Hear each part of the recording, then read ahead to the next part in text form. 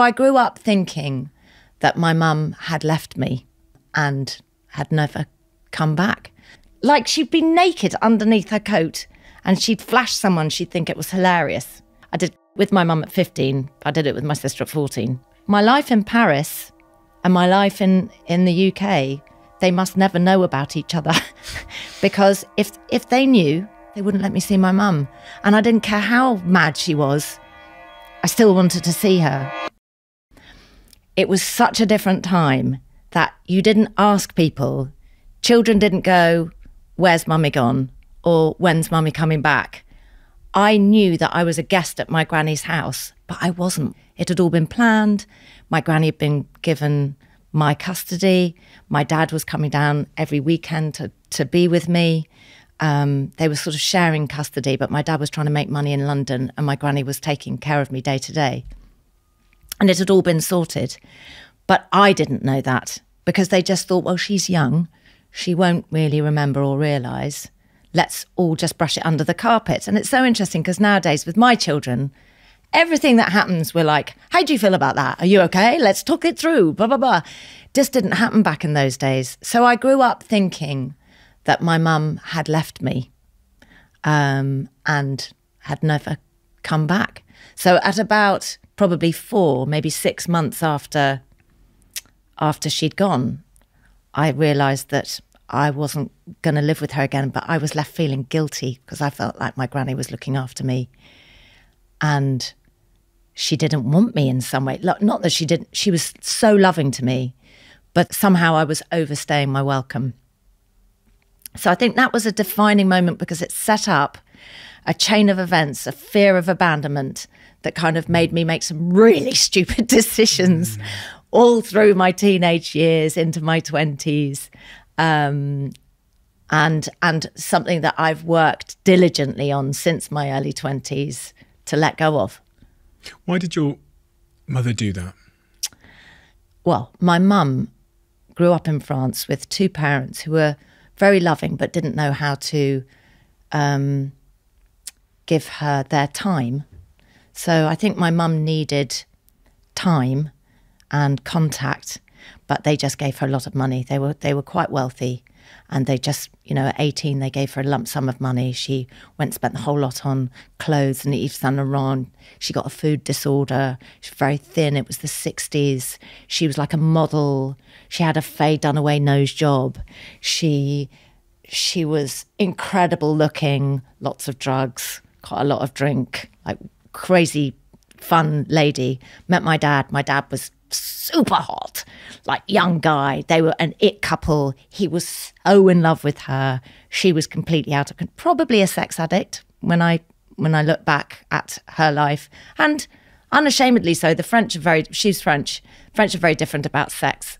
She was kind of, you know, she was. It's only bodies. That was her catchphrase. Like, you know, oh, it's only bodies. And you'd think, no, that's someone's husband. Like that is, you know what I mean? So looking back, she she wasn't well herself, but she was so young. Like this was, we're talking 22, 23 when she met my dad. She'd already had a child at 16, been forced to marry the father of that child. They'd got divorced. Then she met my dad. So she was troubled herself, right? And my dad tried to help fix her, but it just wasn't going to work. And she ran off with someone else um, having had several affairs and everything. And my dad was brokenhearted, absolutely brokenhearted. And the courts in the UK, because I was born in the UK and had been brought up here, gave my granny and my dad custody, which was so rare. Mm. So um, I, I, am not sure how hard she fought. I'm not sure that she did, but um, that was what happened. But I did go and see her in the holidays, but that was what do you mean? Well, quite crazy. Like, what did you see? I, oh my God, like, what didn't I see? I mean, my mum would, she would wear, this was quite a funny story. I mean, and some of it makes me laugh now, but it would be, she'd go out with me, like in a floor length electric blue coat, and we'd get out, and then she'd go like that to someone, and I'd think, She'd flash oh them. my God, she's naked. Yes. Like she'd be naked underneath her coat and she'd flash someone, she'd think it was hilarious. And I'd just be like, oh, oh God, somebody please, like make the world disappear. But at times, it's really hard to explain, but I loved my mother. Like, I really wanted her to pull some mummy business out the bag. Like, I was like, come on, you can do this. And sometimes she'd give me a hug, and I'd think, oh my God, this is it. Like, this is what it feels like to be hugged by mother. But then at other times, you'd be reading her, right? It'd be like, well, I've got to be, I've got to be a sweet little girl. Oh no, I'm going to have to take care of you. Or like now I have to be really good fun. I've got, I need to entertain you. It was always wearing a thousand different hats to see how she was going. And, and my granny used to say to me when we did start talking about it when I was older, she said we'd have to like kind of it would be funny for a month when you came back from France. You'd be a little bit on edge, and we'd have to just really get you back into your favorite foods, a routine at bedtime, safety, reground me. So when I say I'm half nun, half wild child, it's because of that life that I've had, like drugs at 12 with my mum. Like, You were doing drugs with yeah, like smoking weed at 12, coke at 15, 14. With your even. I did cope with my mum at 15. I did it with my sister at 14. You know, it was like, it was, there was no, and then I'd get back to the UK and it would, it would be back into your secondhand clothes and sort of safe, small life, like simple. My life was very simple. I mean, I say secondhand clothes just to give you an idea. I was in my granddad's jumper and an old pair of jeans, and I get to Paris and they go, What are you wearing? Here's loads of money. Go and buy some posh loafers and get your hair done. And, and I'm 12, like I look like a proper Lolita. But I, and I'd quickly realised that my life in Paris and my life in, in the UK, they must never know about each other. because if if they knew in the UK about my life in Paris, they wouldn't let me see my mum. And I didn't care how mad she was. I still wanted to see her. Does that make sense? Yeah. So my my sister also was my lifeline in Paris. So my sister, who was six years older than me, even though we did do drugs together, and I know that sounds bad, but she was my rock. Like she was my she grounded me when I was in Paris. So we stuck together. We understood what mum was like. We worked her together. Caroline. Yeah, Caroline, yeah. And then my mum, you know, but I, I did like going to Paris and also because I was young and they didn't stop me from doing anything. It was crazy. Having sat here with um, stand up comedians, I remember Jimmy Carr said to me, he said, often it's assumed that comedians themselves are depressed and that they're cracking jokes to kind of cheer other people up in an attempt to cheer themselves up. But he said to me, you should actually ask them which one of their parents is depressed. Which one of their parents were they trying to please and entertain? You said earlier, you know, did I have to be this one day? Or did I have to be a joker? Did I have to take care of her?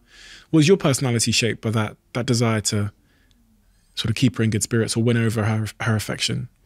I think it taught me some amazing skills in reading people. So, um, also, my granny was unbelievably good at this as well. So, people used to think my granny was psychic because somebody would walk in the room and she'd go, Are you okay?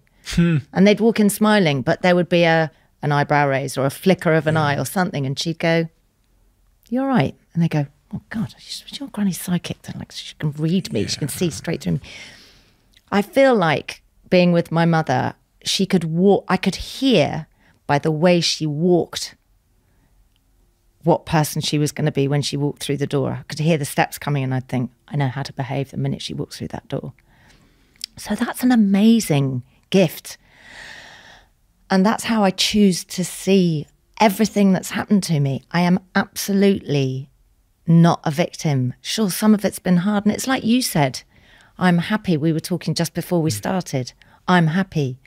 And yes, life throws me curveballs, but I choose to learn from those and still be happy rather than cling on to the curveball and let it pull me down.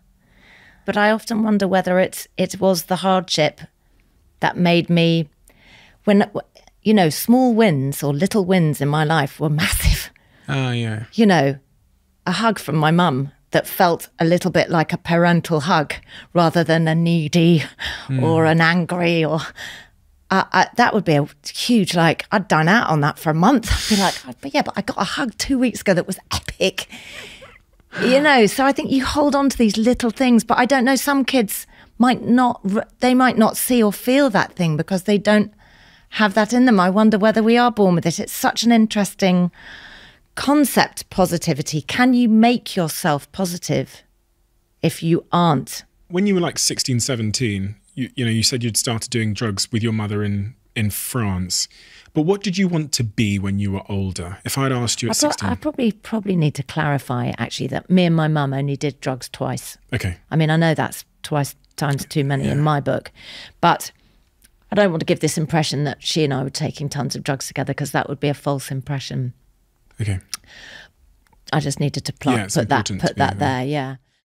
If you love the Diary of a CEO brand and you watch this channel, please do me a huge favor. Become part of the 15% of the viewers on this channel that have hit the subscribe button. It helps us tremendously, and the bigger the channel gets, the bigger the guests.